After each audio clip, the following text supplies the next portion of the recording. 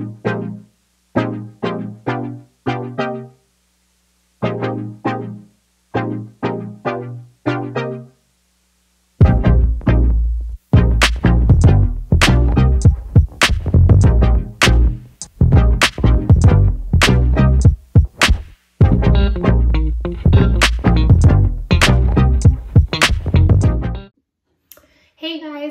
to another episode of Above the Fold. Today I'm going to be doing something a little bit different. I know I usually launch into tutorials on different eye looks, but today I'm actually going to be going over my top five ways that you can really rock your monolids. So yeah, um, if you haven't yet subscribed, please do subscribe. I'm really building up the channel, really diversifying the content. Um, I'm even thinking about expanding beyond just purely tutorials on makeup and going into other types of content. So yeah, be sure to subscribe so you don't miss out on anything. And as usual, before we get into it, I just wanted to show off another accessory that I'm wearing today. I recently just got it and I think it's really cute. I wanted to share it with everybody, but they're these hoop earrings with a little heart in them. Super cute, um, super flirty, cute. And actually they're also by Lucky Brand and in my previous video I was showcasing the safety pin heart earrings as well that are really cute. And they're also by Lucky so I guess I'm just really liking Lucky accessories recently. So yeah, let's just dive right into this top five list. So um, before we launch into the top five lists, just to give people um, some definition and context around what is a monolid for some of you who may not know, it's just eyelids that lack a visible crease, such as mine, and it's most prominent um, amongst East Asians. So yeah, just a little bit of definition. And also for my top five lists, I'm actually not going in any particular order. Um, although I will say that number one is intentionally number one for a reason, but everything else two through five, it's kind of, um, kind of random. So yeah, let's start with number five. So I think the first thing you gotta do is invest in a good primer potion. I use Urban Decay primer potion and I think Too Faced also has a really good one as well. Um, but I think it's a shadow insurance. But yeah, um, essentially because when you have a monolid, your lids fold over the lash line, so they're just more prone to smudges. So just to keep your makeup intact throughout the day, um, putting primer over it creates a smoother base, keeps your makeup intact, um, especially if you don't have the luxury of reapplying and checking up on it all day. And also, um, I've noticed that with primer versus without primer, your shadows just look more pigmented. So yeah, um, definitely invest in a good primer potion. And something that I like to do is I also like to put some eyeshadow or color on my lower lash line as well. Um, I've done it in a lot of my videos and I think it just makes the overall look look more cohesive and um, it just makes the eyes look more interesting and colorful when you have some color on the bottom lash line, just a personal preference as well. Um, but yeah, if that's the case and you um, also see your loft smears, I would also recommend putting some primer potion on your lower lash line prior to putting on the shadows as well. So yeah, that's number five let's move on to number four. So number four, I would say is investing in a good um, liner, liquid liner in my in my case. Um, I like my Clinique Pretty Easy Liquid Lining Pen and I also like the Stila one and the Lorac Pro Liner is pretty good as well. But for me, what constitutes a good liquid liner is if it has a very precise tip. Um, I think it just makes it easier to have control and to um, draw an extended liner look, which I typically like to do. And I find that when I use liquid liner, it not only makes um, my, it creates this very aesthetically pleasing um, eye shape by creating the extended liner. And it also makes my lashes look fuller. And I'm not exactly blessed with full long lashes, so any help I can get, I will take. So yeah, so those are the benefits and also even better if your liner is waterproof as well. Um, again, goes back to the whole primer potion situation because our lids sit over the lash line um, or fold over the lash line, they're just more prone to smudges throughout the day. And so anything that can keep your makeup intact and free from smudges, such as waterproof formulas, I, I personally gravitate towards them. So yeah, and another thing I would like to point out while on the subject of liners is that um, just because when you have um, a monolid, you often have to draw a thicker line. So what I typically like to do is I like to trace over the liner after I've drawn it with um, a light colored um, eye pencil. I use the Urban Decay eye pencil, 24-7 pencil in the color Stash, which is this pretty green or mossy green color. And personally for me, I just feel like after I do that, the line looks less harsh, especially when you um, close your eyes there's just like this thick line that you have to draw so that um, compared to non-monolids, when you open them, that you can still see the liner. So just to diminish the harshness and really soften up the look, I oftentimes will trace over it with this green um, eye pencil.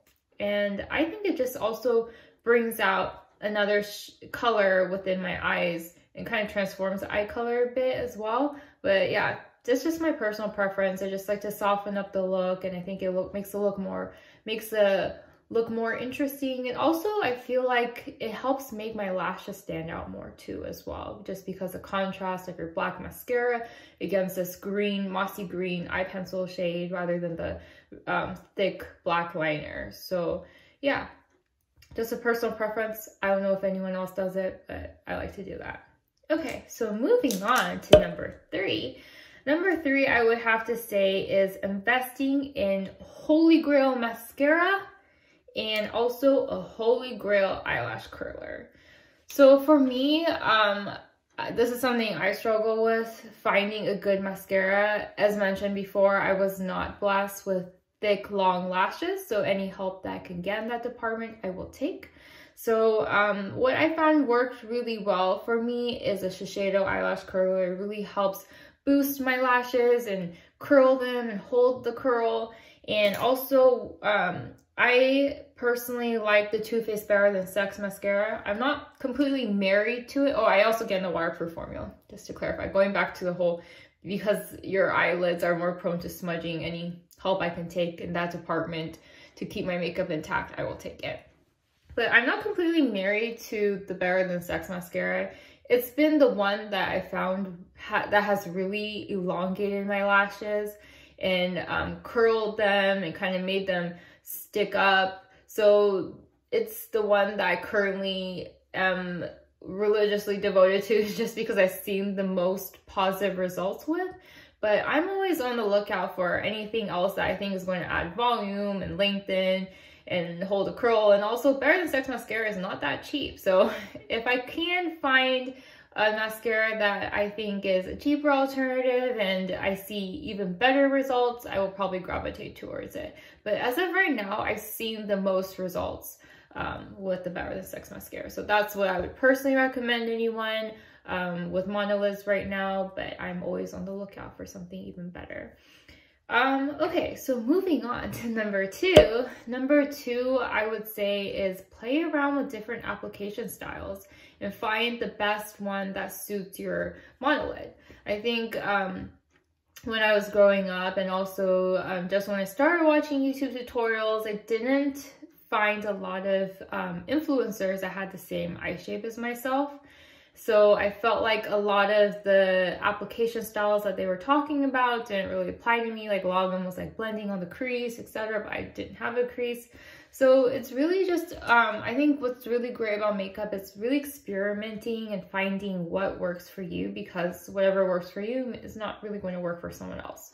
So just taking that time and experimenting with different application styles. But I will say that um, one thing that like the common thread that holds um, together all the different monolid application styles is what essentially you're trying to do like with the vertical gradient for example and also with the fade crease you're really trying to create this illusion of depth So that's what, for example, with the vertical gradient, you're starting off with the foundational color and you're putting the transitional and then you're getting like a darker shade as you get closer to the lash line. So a lot of it is really creating this illusion of depth and kind of with the faking a crease look, you're carving out that fake crease and contouring. So that's a common thread that kind of holds together all the looks um, all the different application styles. But yeah, definitely play around and see what works for you because whatever works for you is not necessarily going to work for someone else.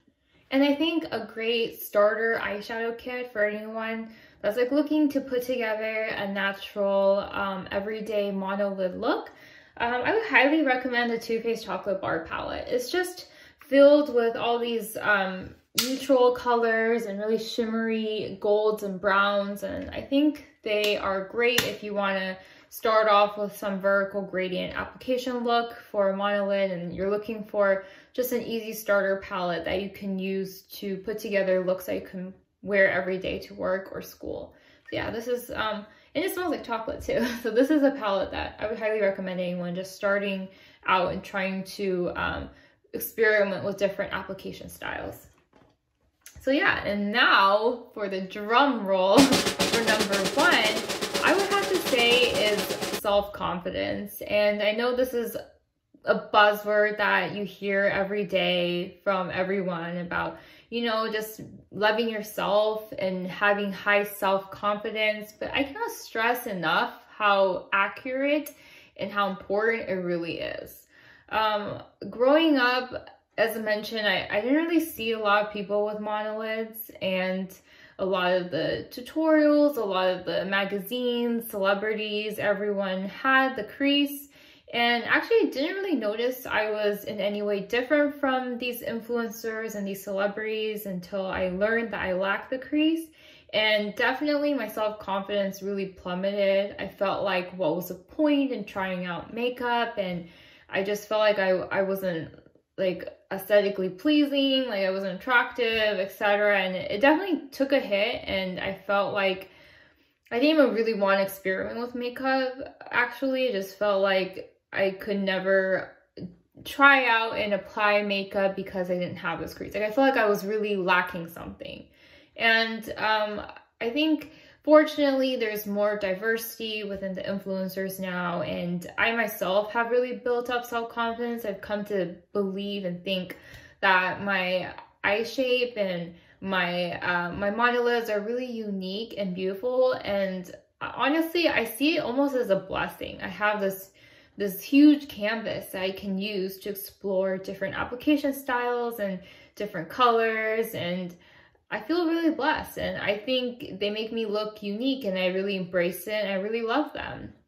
So I think it's really not an understatement that you should have high self-confidence. It really shines through and it, it's, it, it just, it really shines through and um, it's really noticeable when someone has high self-confidence versus someone who doesn't. So yeah, it's I think number one, the best way for you to rock your monolids is really believing and embracing the fact that you have this um, unique feature that makes you beautiful in your own individual way. But yeah, so that's my top five list um, of ways you can rock your monolids. I hope you really enjoyed this video. I hope you take away some tips and tricks that you can use um, when you are setting out and creating your own um, look. So yeah, I hope you enjoyed this video and please subscribe if you haven't and thanks for watching. Bye.